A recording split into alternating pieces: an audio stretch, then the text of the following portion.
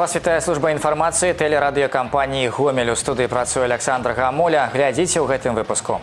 Навацыі ў камбайнабудаванні кіраўніцтва гомсельмаша расказала пра новыя распрацоўкі. Час развітацца са шкоднай звычкай сёння сусветны дзень некурэння. Альма-матер. Гомельскі дзяржаўны універсітэт імя Францыска Скарыны сабраў сваіх знакамітых выпускнікоў. А зараз аб гэтым і іншым больш падрабязна.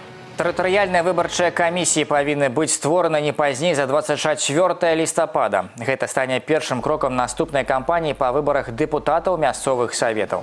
У цэнтр выбаркамі зацвердзілі каляндарны план выбараў. Паколькі ў Беларусі 1309 мясцовых саветаў з улікам сельскіх павінна быць і аналагічная колькасць тэрытарыяльных камісій. Не пазней за 29 лістапада ў друку павінны з'явіцца спісы выбарчых акруг, іх нумары, апісанне і найменне.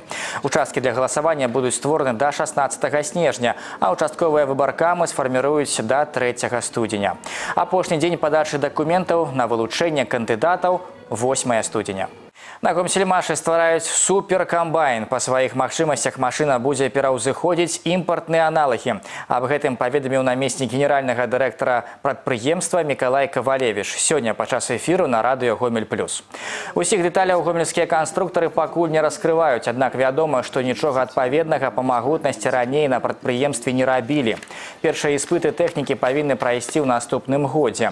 Дарэчы, сёлета гомсельмаш выпусціў 5 новых мадэляў сельскагаспадарчай тэхнікі тэхнікі. Усе яны паспяхова прайшлі выпрабаванні на палетках рэгіёна.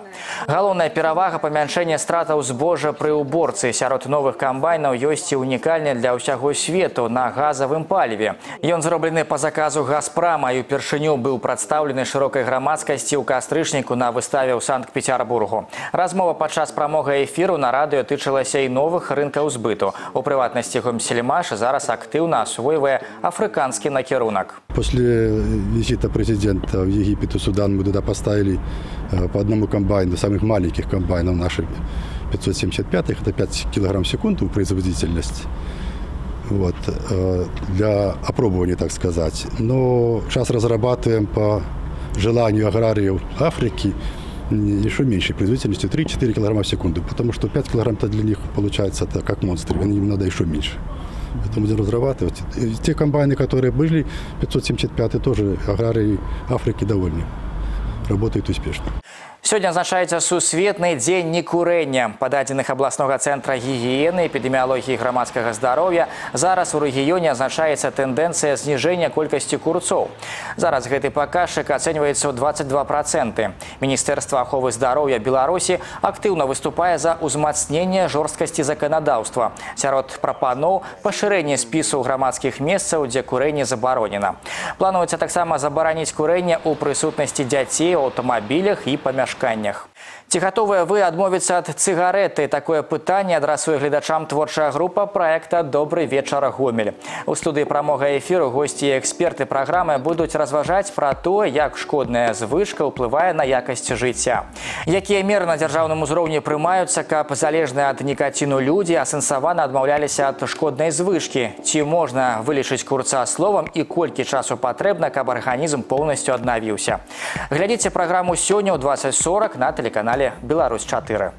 Прэзентацыі кніг, майстар-класы вядучых журналістаў і бардаўскія песні ў аўтарскім выкананні. Сёння ў гомельскім дзяржаўным універсітэце імя Францыска Скарыны сабраліся прафесіяналы слова, якія скончылі гэтую установу ў розныя часы. Мерапрыемствы наведаў Олег Сенцюроў.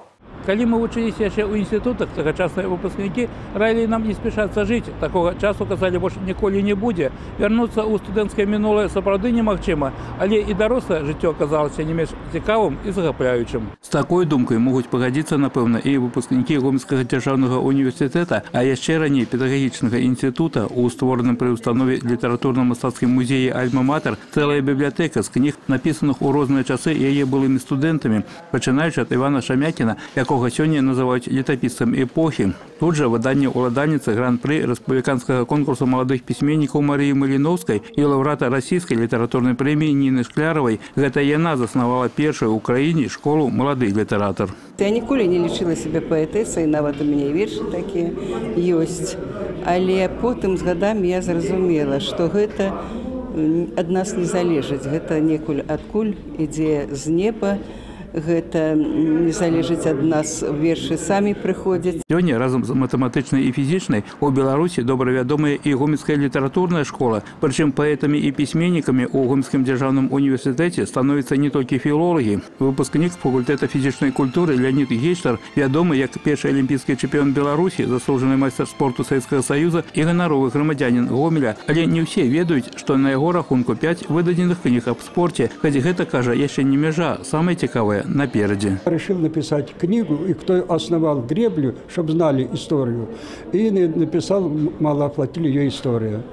А потом э, еще книга, там Олимпийские игры, там я же был в Америке, в Риме. На сустрэчы прафесіяналаў слова, якія ў розныя часы скончылі гомельскі дзяж універсітэт, пісьменнікі, паэты, журналісты, яны дэманструюць свае новыя кнігі і дзеляцца планамі. За час свайго існавання установа падрыхтавала для розных сфер больш як 60 тысяч спецыялістаў. Колькі сярод іх аказалася людзей творчых, ніхто дакладна не падлічваў, але падтрымліваць таленты ва універсітэце абяцаюць і далей. Урэшце майстры слова краіне патрэбны не менш, чым таленавітыя настаўнікі, фізікі і спартсмены.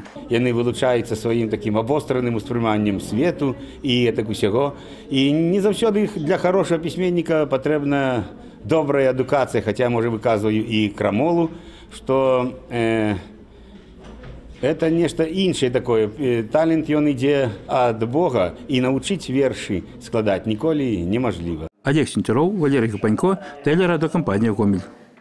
У Гомелі працягваецца форум класічнай музыкі праз терні да зорак. Ён суправаджаецца правядзеннем адукацыйных майстар-класаў, цікавых творчых сустрэч з беларускімі музыкантамі, а таксама серый арыгінальных канцэртных праграм. Напярэдадні абласным драматычным тэатры адбыўся вечар віртуозаў. Вераніка Варашыліна валодае падрабязнасцямі. Канцэртную праграму вечар віртуозаў склалі лепшыя ўзоры класічнай музыкі. Музыканты выступалі ў суправаджэнні гомельскага сімфанічнага аркестра. Спецыяльным госцем праграмы стаў вядомы італьянскі валтарніст Альберта Кап'ела. У нашай краіне ён выступае ўпершыню. Музыкант прызнаецца, калі яго запрасілі прыняць удзел у форуме класічнай музыкі, пагадзіўся адразу, бо ведае, што ў славянскіх краінах да яе ставяцца вельмі адказна. Альберта Кап'ела прыехаў у гомель жаданнем атрымаць новыя эмоцыі і ўражанні і ў сваю чаргу зарадзіць публіку душэўным цяплом неўвядальнай класікі геніяльнага вольфанга Амадея Моцарта.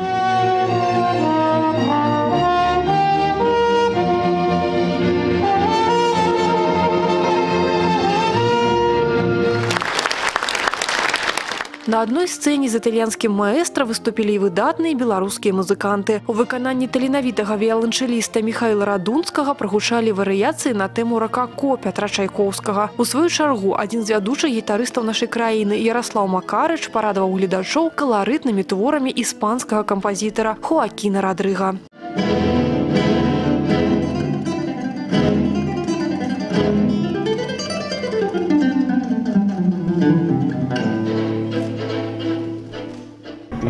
Хакина Родриго, если ты играешь, неважно что, но что касается Аранхуэса, этого концерта, это действительно, это глыба для меня, это самое, самое значительное произведение в моей жизни. И когда я его играю, неважно, пятый раз, десятый раз, оно каждый раз э, проживается как-то по новой, иначе и дает всегда толчок э, в развитии.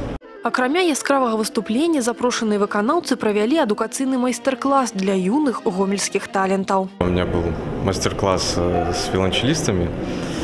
И я получил колоссальное удовольствие. Замечательные ребята. Я очень люблю мастер-класс, когда идет отклик непосредственно. То есть, когда человек откликается на любое мое какое-то предложение творческое, я со своей стороны приложил максимальные усилия, чтобы ребята остались довольны чтобы любовь к музыке у них становилась только сильнее и сильнее.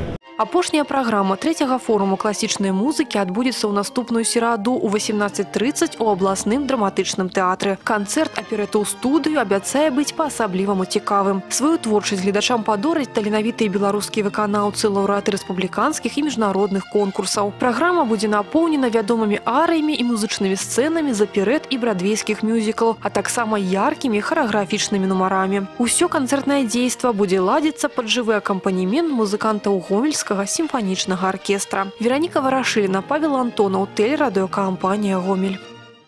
Гэта і іншыя навіны вы можете знайсці на нашым сайце ў інтэрнэце па адрасе www.tvrgomel.by. Далей у эфіры спартыўны агляд з навінамі спорту вас пазнаёміць Максім Савін.